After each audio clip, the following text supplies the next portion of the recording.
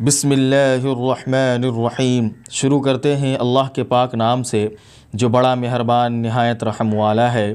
असलकम वरहमतुल्लाहि वबरकatuh dear students आज फिर इंट्रोगेटिव सेंटेंसेस का पार्ट नंबर टू लेकर हाज़िर होना हुआ है। यानी सवालिया जुमले का दूसरा जुज़ लेकर हाज़िर होना हुआ है। लिहाजा आपसे दरख्वास्त है कि आप सबक को बग़ौर सुने और याद करने की कोशिश करें। तो चलिए सबक को शुरू करते हैं। डेर स्टूडेंट्स आप उर्दू में बार बार इस तरह का जुमला इस्तेमाल करते हैं कि ये साहब कौन है? जब उनके बारे में आप नहीं जानते हैं तो पूछते हैं, ये साहब कौन है? तो आप इसको इंग्लिश में ऐसे बोल सकते हैं who's this gentleman who's this gentleman who's this gentleman ये साहब कौन है?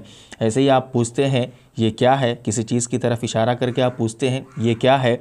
तो उसको आप इंग्लिश में पूछ सकते हैं what's it what is this भी बोला जाता है, लेकिन व्हाट्स इट ये ज़्यादा बेहतर है। व्हाट्स इट ये क्या है? व्हाट्स इट ये क्या है? व्हाट्स इट ये क्या है? ऐसे ही आप उर्दू में पूछते हैं कि फ़लाँ साहब कहाँ है? साजिद कहाँ है? खालिद मीर कहाँ है? राशिदा कहाँ है? इस तरीके से जब आप उर्दू में बोलते हैं तो अगर इसको आप इंग्लिश में पूछना चाहें, इस तरह के जुमले अगर आप इंग्लिश में इस्तेमाल करना चाहें तो कैसे पूछेंगे? तो कहते हैं, जैसे ये कहना है कि खालिद मीर कहाँ है तो आप बोलेंगे where is Khalid Mir where is Khalid Mir where is Khalid Mir Sajid कहाँ है? Where is Sajid? Where is Sajid? Where is Sajid? Majid कहाँ है? Where is Majid? ऐसी आप जब घर में रहते हैं तो कपड़े कभी कभी आपके खो जाते हैं तो आप तलाश करते हुए कहते हैं कि आपने मेरे कपड़े कहाँ रख दिए हैं? आपने मेरे कपड़े कहाँ रख दिए हैं? इस तरीके से आप पूछते हैं घर वालों से तो उसको अगर आप इंग्लिश में पूछना चाहें तो आप पूछ सकते हैं where have you kept my clothes where have you kept my clothes where have you kept my clothes आपने मेरे कपड़े कहाँ रखे हैं?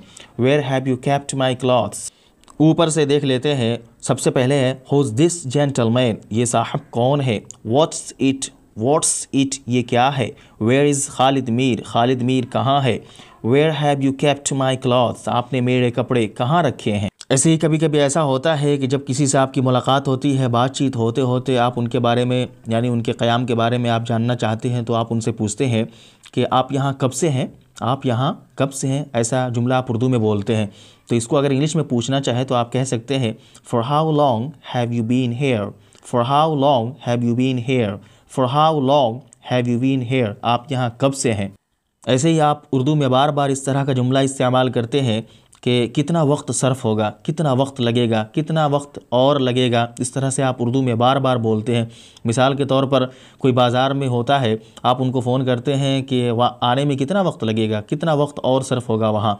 तो उसको आप इस तरह से बोल सकते हैं how long will it take how long will it take how long will it take कितना वक्त लगेगा, कितना वक्त सर्फ होगा। ऐसे ही जब कोई बड़ा आदमी, छोटे आदमी के सामने जब कोई काम करता है तो छोटा आदमी बोलता है कि आप क्यों तकलीफ़ करते हैं? आप क्यों परेशानी उठा रहे हैं? हम कर लेंगे ना। आप क्यों तकलीफ़ उठा रहे हैं? तो उस वक्त में आप उसको इंग्लिश में ऐसे बोल सकते हैं why do you trouble yourself why do you trouble yourself why do you trouble yourself आप क्यों तकलीफ़ करते हैं? आप क्यों तकलीफ़ उठा रहे हैं? ऐसे ही आप उर्दू में बोलते हैं कि आप पहले क्यों नहीं गए? आप पहले क्यों नहीं गए ताकि आपको आसानी से वो सामान मिल जाता? कभी कभी मार्केट में जब कोई सामान ख़त्म हो जाता है तो आपको कहा जाता है कि पहले जाते तो पहले मिल जाता। तो इस तरह के जुमलों को आप इंग्लिश में ऐसे बोल सकते हैं why do you not go earlier why do you not go earlier why do you not go earlier आप पहले क्यों नहीं गए?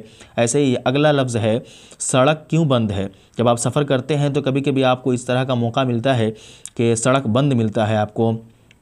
तो आप पूछते हैं गाड़ी के अंदर से निकल कर पूछते हैं कि सड़क क्यों बंद है? तो इस तरह के जुमले को आप इंग्लिश में बोल सकते हैं why is the road closed why is the road closed why is the road closed सड़क क्यों बंद है? ऐसे ही जब आप पिक्चर देखने जाते हैं फ़िल्म देखने जाते हैं तो आप काउंटर पर जाके पहले ये पूछते हैं कि आज कौन सी पिक्चर लगी है? आज कौन सा फ़िल्म लगा है? तो उसको आप इस तरह से पूछ सकते हैं इंग्लिश के अंदर what movie is on today what movie is on today what movie is on today आज कौन सी पिक्चर लगी है? आज कौन सा फ़िल्म लगा है? एक बार ऊपर से देख लेते हैं for how long have you been here आप यहाँ कब से है? ऐसे ही अगला है, कितना वक्त सरफ होगा? How long will it take how long will it take आप क्यों तकलीफ़ करते हैं? Why do you trouble yourself आप पहले क्यों नहीं आए? Why do you not go earlier why do you not go earlier सड़क क्यों बंद है? Why is the road closed आज कौन सी पिक्चर लगी है? What movie is on today ऐसे ही आप उर्दू में बार बार बोलते हैं, क्या ख़बर है? क्या समाचार है? क्या न्यूज़ है? तो उसको आप इंग्लिश में बोल सकते हैं what's the news what's the news what's the news क्या ख़बर है? ऐसे ही आप बोलते हैं, आप क्या करते हैं? आपका मशगला क्या है? आपका पेशा क्या है? ऐसे आप उर्दू में बोलते हैं तो इसको इंग्लिश में आप कह सकते हैं, पूछ सकते हैं what's your occupation what's your occupation what's your occupation आपका मशगला क्या है? आप क्या करते हैं? आप कौन सा कारोबार करते हैं? ऐसे ही आपसे पूछा जाता है, अब कब मुलाकात होगी? जब किसी से दोबारा मिलने के लिए पूछते हैं तो बोलते हैं कि अब कब मुलाकात होगी? इस तरह से आप बार बार पूछते हैं तो उसको आप इंग्लिश में पूछ सकते हैं when shall we meet again when shall we meet again when shall we meet again अब कब मुलाकात होगी? ऐसे ही आप पूछते हैं, आप हमारे यहाँ कब आएँगे? मिलते हैं तो दोबारा पूछते हैं कि फिर अब कब आएँगे?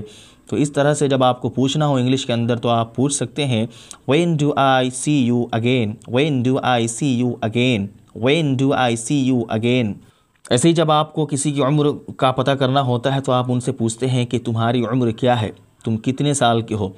तो उसको आप इंग्लिश में पूछ सकते हैं how old are you how old are you how old are you तुम्हारी उम्र क्या है? ऐसे ही आपको किसी से पूछना होता है कि तुम उनसे कब मिलोगे, फ़लाँ आदमी से तुम कब मिलोगे, या तो नाम उनका लेते हैं या फिर ऐसे ही बोलते हैं कि तुम उनसे कब मिलोगे। इस तरह से जो जुमला बोला जाता है उर्दू में तो उसको इंग्लिश में अगर हम बोलना चाहें तो ऐसे बोल सकते हैं when will you see again when will you see again when will you see again तुम उनसे कम मिलोगे। ऐसे ही अगला जुमला है, आप उर्दू में बोलते हैं कि इस कोट में क्या सर्फ हुआ? यानी इस कोट को खरीद, ख़रीदने में आपका कितना ख़र्च हुआ? आप उर्दू में बार बार बोलते हैं कि कलम को ख़रीदने में कितना पैसा लगा, मोबाइल को ख़रीदने में कितने पैसे लगे, आप इस तरह से बार बार उर्दू में बोलते हैं। मैंने एक कोट का मिसाल देकर आपको समझाया है।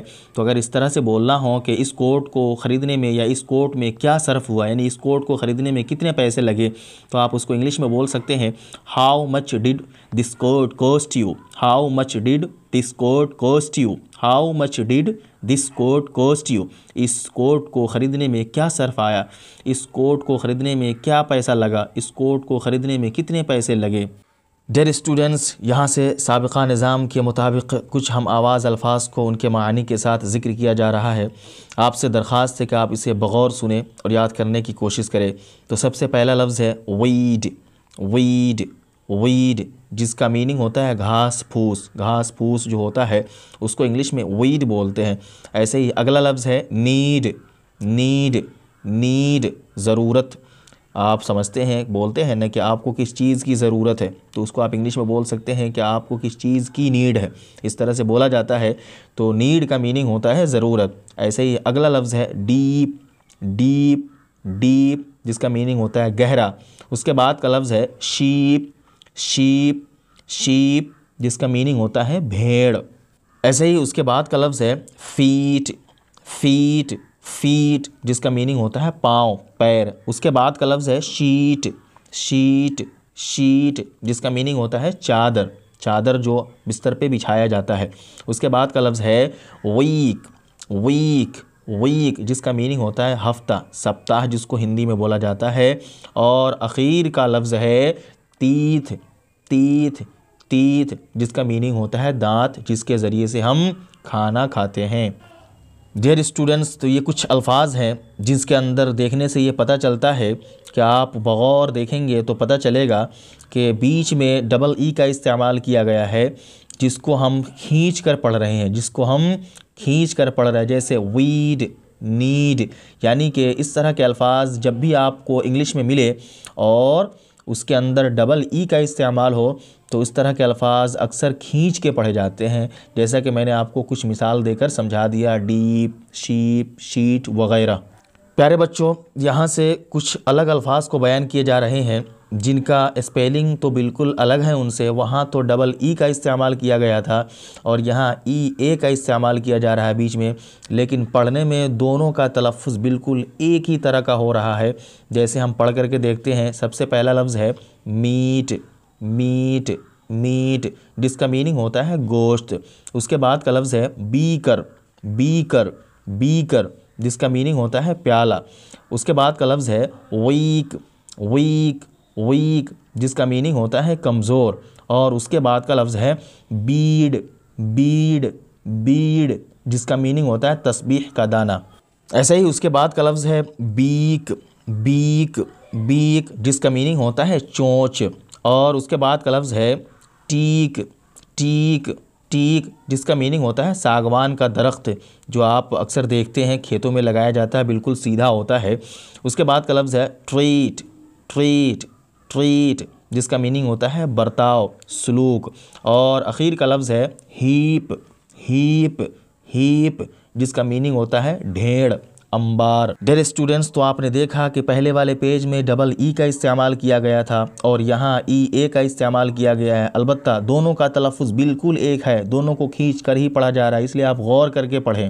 इंग्लिश सीखने के ख्वाहिशमंद हजरात ख़वातीन, मुझे पूरी उम्मीद है कि जो भी चीज़ें आपके सामने बयान की जा रही है इंट्रोगेटिव सेंटेंसेस यानी सवाल या जुमले की शक्ल में आप उन्हें खूब अजबर याद करेंगे और साथ ही साथ रोज़मर्रा की गुफ्तु में इन्हें खूब इस्तेमाल करेंगे ताकि आपको हमेशा हमेश के लिए याद हो जाए। इसी तरीके से अगली वीडियो में अगले पार्ट के साथ फिर मिलते हैं पूरे जोश और जज्बे के साथ। जब तक के लिए अल्लाह हाफिज़। अल्लाम वरहमल वर्का